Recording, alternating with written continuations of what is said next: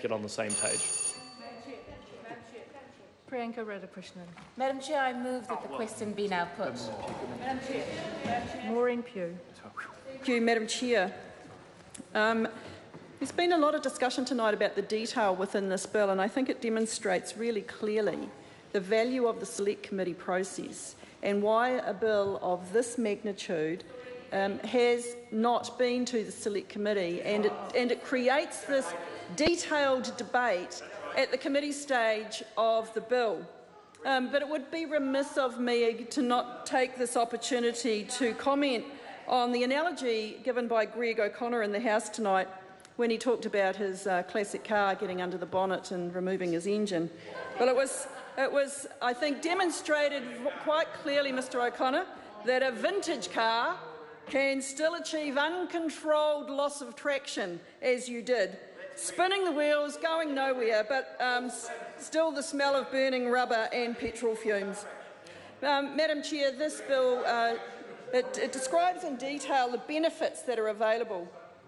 And when you look at the list of the benefits that are available within this bill, particularly Part 2 that we're talking about, it goes to show what an absolutely generous uh, country we live in in support of our least, um, least um, able people to support themselves. Our welfare system is a very healthy one.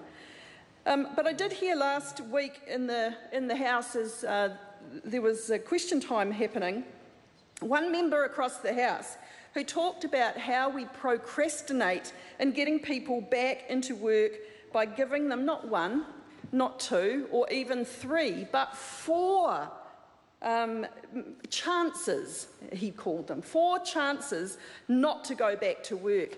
Well, Madam Chair, um, this bill, in the form that it was delivered to the House last year, is about the social investment approach to these people that have found themselves in the situation where they are in the benefit dependency cycle. And the social investment approach seeks to remove them from that. But there's one part of the bill, uh, Madam Chair, and in part two, and it's indexed at HA, which talks about the winter energy payment. And I was a bit um, surprised to hear the Minister um, decline my SOP before I'd even had a, had a chance to discuss it. And that was part two, subpart 9a and, it, and clause 65e. And my suggestion was to insert a new subclause 65e2, naming it C. And that was to allow for the winter energy payment to be paid in five monthly payments and two fortnightly payments. And the rationale given by the Minister was that it would cost millions of dollars to implement uh, a monthly payment. And the, the, the rationale was that it coincides with monthly power accounts. And so it makes perfect sense to align the payments to a monthly power account.